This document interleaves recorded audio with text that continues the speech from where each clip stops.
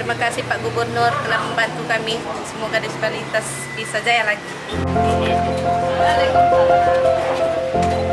Bantuan alat mesin jahit, mesin obras, mesin nesi, dan mesin bordir diserahkan oleh Gubernur Rohidin pada Lembaga Perlindungan Penyandang Disabilitas Sehati atau LPPDS, Kecamatan Padang Kapuk, Bengkulu Selatan, Minggu 8 Oktober 2023. Kita menyerahkan satu paket peralatan mesin jahit lengkap kepada LBK Bengkulu Selatan Loka Bina Karya. Ini untuk anak-anak kita yang berkebutuhan khusus disabilitas.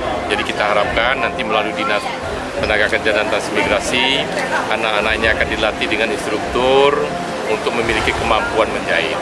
Dan alat mesin jahitnya sudah cukup modern ya, sebagian sudah pakai menggunakan listrik sehingga nanti kalau memang kondisinya disabilitas saya kira bisa tetap bisa bekerja. Mudah-mudahan dengan program ini mereka memiliki kemampuan, keterampilan sehingga pada akhirnya mandiri.